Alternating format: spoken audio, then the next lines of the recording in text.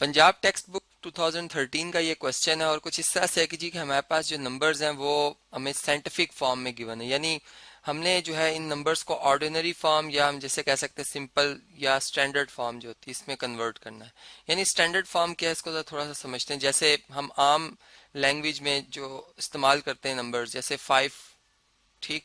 अब ये हम नॉर्मल इसको लिख रहे हैं। फाइव हंड्रेड लिखना तो हम इसे फाइव लिख देते हैं, ठीक है? या जैसे हम नंबर्स को जब डिवाइड करते हैं, जैसे ट्वेंटी फाइव को फॉर एग्जांपल एटी पे डिवाइड किया और इसका जो भी जवाब आता है फ्रैक्शन में तो हम इसको एज इट इज़ लिखते हैं, ये हमारे पास ऑर्डिनरी फॉर्म है। अब हमने इसको एक साइंटिफिक फॉर्म में तब्दील करना है, बल्कि तब्दील किए हुए हैं और हमने इसे वापस जो है ऑर्डिनरी फॉर्म में लेके आना है। तो साइंटिफिक फॉर्म बेसिकली हमने जब समझी थी तो हमने ये कहा था कि अगर फ़र्ज़ करें, हमारे पास कोई नंबर है, जैसे मैं कहता हूँ 500 ही है, या 501 है। अब हम इसे लिखते हैं जी 501 में जो पॉइंट होता है वो वन के बाद होता है, जिसे हम नॉर्मली नहीं लिखते। और मैंने कहा था जी इसको हम जो है ऐसे नंबर में कन्वर्ट करेंगे जो कि टेन से छोटा और वन से, यानी वन के बराबर बन सकता तो बना देंगे या वन से ग्रेटर तो ये अगर हम रेफरेंस साइन यहाँ पर लगा रहे हैं जी, ये सिर्फ़ इंडिकेट करता है कि पॉइंट अब इस जगह पे हम शिफ्ट कर रहे हैं और हम लेफ़्ट साइड पे मूव कर रहे हैं तो ये बन जाएगा 5.01 और चूँकि अब अगर हम देखें तो हमने पॉइंट अगर दो डिजिट मूव किए हैं तो ये 5.01 10 से छोटा है और वन से ग्रेटर है।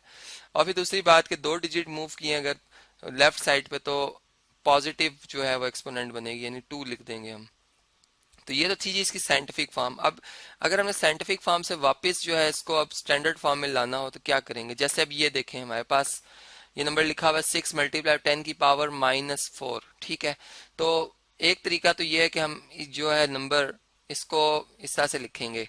यानी ये हमारे पास, जो हमारे पास नंबर टेन की पावर माइनस फोर अगर मैं इसको नोमिनेटर से डिनोमिनेटर में चेंज करूँगा तो इसकी एक्सपोनेंट जो है वो, इसका साइन चेंज हो जाएगा। तो यहाँ पे हम लिखते हैं कि एक्सपोनेंट जो भी होती है, उसका साइन चेंज हो जाता है। जब हम न्यूमिनेटर से डिनोमिनेटर में कन्वर्ट करते हैं, या फिर डिनोमिनेटर से नोमिनेटर में, ठीक है? तो ये हमारे पास आ गया। अब अगर हम इस नंबर को देखें तो ये लिखा हुआ है सिक्स और टेन की पावर फोर का मतलब है कि देखें, जैसे हम टेन की पावर वन लिखते हैं तो इसमें एक ही ज़ीरो आता है, यानी टेन की पावर टेन टेन की पावर वन का मतलब टेन है। जब हम टेन की पावर टू लिखते हैं तो ये हंड्रेड होता है, जिसमें कि हमने देखा टू जीरोज आते हैं। ऐसे टेन का क्यूब अगर लिखेंगे तो वन के बाद थ्री जीरोज आ जाएँगे। तो यहाँ पर, यहाँ भी हम कुछ ऐसा ही करेंगे कि हमारे पास टेन पावर फोर है, इसका मतलब है कि फोर जीरोज आ रहे हैं, ठीक है? यहाँ फोर जीरोज लिखेंगे। उसके बाद अगर हम इसको इस नंबर पर डिवाइड करते हैं तो यहाँ पर हम यूँ करते हैं कि अगर ये पॉइंट इस वक्त यहाँ पर है, ठीक है? यानी, और इधर सिक्स के बाद पॉइंट यहाँ पर। अब जैसे जैसे ये जीरोस हम खत्म करते जाएँगे, पॉइंट पीछे रिवर्स होता जाएगा, यानी इस वक्त पॉइंट इस जगह पे आ जाएगा, एक डिजिट रिवर्स जाएगा। जब हम दूसरा ज़ीरो कैंसिल करेंगे तो अब ये यहाँ पर, चूँकि कोई डिजिट नहीं, हम ज़ीरो लिखेंगे और पॉइंट इसके बाद लगा देंगे, यानी दो डिजिट पीछे रिवर्स में आ जाएँगे। तो इस तरह हमने यहाँ पर अगर हम देखें तो हमारे पास कितने डिजिट्स हैं जी? कितने जीरोज आ रहे हैं अगर हम जीरोज गिने one two three four zeros तो इसका मतलब है कि हमने सिक्स को मिला के फोर डिजिट लिखने यहाँ पर। सिक्स एक दो और ये तीन, ये चार हो गए, और इसके बाद हम पॉइंट लगा देंगे, ठीक है? तो ये हमारे पास, अब जो ये फॉर्म बनी, ये स्टैंडर्ड फॉर्म या इसे हम ऑर्डिनरी फॉर्म कह सकते हैं। अब इसका एक सिंपल तरीका भी है, यानी हमने यहाँ पे देखा कि हमारा नंबर जो है वो, अगर इसकी पॉजिटिव एक्सपोनेंट हो, यहाँ पर ये पॉजिटिव एक्सपोनेंट है, और ये अपनी जो है वो साइंटिफिक फॉर्म में है, ठीक है? तो हम क्या करेंगे कि जी डिजिट जो, यानी पॉइंट जो है वो मूव करेंगे राइट साइड पे, ठीक है? और अगर एक्सपोनेंट हो जाए नेगेटिव जैसे यहाँ पे हमें नज़र आ रहा है कि एक्सपोनेंट नेगेटिव है तो हमने पॉइंट मूव करना होता है जी लेफ़्ट साइड पे, ठीक है? यानी इन दो बातों का ख्याल रखना होता है और फिर लेफ़्ट साइड पे कितने डिजिट मूव करना होता है? चार, अगर यहाँ पे माइनस फोर लिखा था, चार डिजिट हम मूव करेंगे लेफ़्ट साइड पे, और यहाँ पर टेन लिखा हुआ इसका टेन डिजिट राइट साइड पे हमने मूव करना है।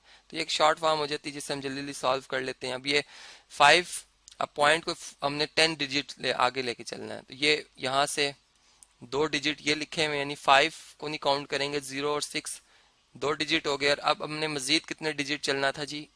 यानी दस चलना, दो आ गए, आठ पीछे रह गए। तो आठ ज़ीरो लगाएँगे हम यहाँ पर। ये हो गया हमारे पास चार, और फिर हम चार और ज़ीरो लगा देते तो ये आठ हो जाते हैं, और ये दो मिला के दस। तो पॉइंट अब हम इस जगह पे लगा देंगे, जो कि नॉर्मली हम नहीं शो करते। क्योंकि स्टैंडर्ड फॉर्म में, जैसा 500 की मैंने बात की तो 500 में 500 लिख देते हैं पॉइंट सिर्फ़ चले आपके रेफरेंस के लिए, मैं यहाँ पे लगा देता हूँ। अब देखें, इसी तरह अगर ये हमारा क्वेश्चन है तो यहाँ पर हम इस नंबर को अब जो है, अगर साइंटिफिक फॉर्म से इसको नॉर्मल फॉर्म में लेके आ रहे हैं, यानी इसको अगर हम ऑर्डिनरी फॉर्म में लेके आ रहे हैं तो हमने देखा कि एक्सपोनेंट नेगेटिव है। ठीक है, इसका मतलब है कि डिजिट ने मूव करना है जी लेफ़्ट साइड पे। और लेफ़्ट साइड पे ये मूव करेगा। कितने कितने डिजिट इसने मूव करना है जी? छह डिजिट्स यहाँ पे मैं सर्कल में लिख रहा हूँ। छह डिजिट हमने इसे मूव कराना है। तो यहाँ पर हम क्या करेंगे? एक डिजिट हमें नाइन मिल गया ठीक है? हम नाइन लिखेंगे। यहाँ पे बल्कि इस तरह से हम करते हैं जी। थोड़ा सा स्पेस रखते हैं। नाइन लिखेंगे। ठीक है? यानी पहला डिजिट नाइन हो गया और उसके बाद हमने मजीद पाँच और चाहिए डिजिट हम जीरोज लगाएँगे। ये यहाँ तक फोर हो गए डिजिट ये फाइव और ये सिक्स और इसके बाद पॉइंट आ जाएगा। अब जो नाइन से पीछे वाले नंबर थे, वो एज इट इज़ आ जाएँगे। यानी ज़ीरो वन एट ये ये काउंटिंग में नहीं आएँगे, क्योंकि पॉइंट से हमने किस सिम्ट में सिम्ट में चलना था जी? लेफ़्ट सिम्ट में। ठीक है? तो ये हमारे पास जो है वो इस तरह से हमारे पास ये ऑर्डिनरी फॉर्म या स्टैंडर्ड फॉर्म है। इससे अगर हम इस नंबर की बात करते हैं, अब इसकी एक्सपोनेंट देखेंगे हम। पॉजिटिव है तो किस सिम्त में जाएँगे जी? राइट साइड पे। ठीक है? और कितने डिजिट चलना है हमने राइट साइड पे? आठ। आठ डिजिट हमने मूव करना है, ठीक है? अब देखें पॉइंट किस जगह पर है? यहाँ पर है। इससे आगे हमने काउंटिंग शुरू करनी है कि तीन डिजिट हमारे पास हैं।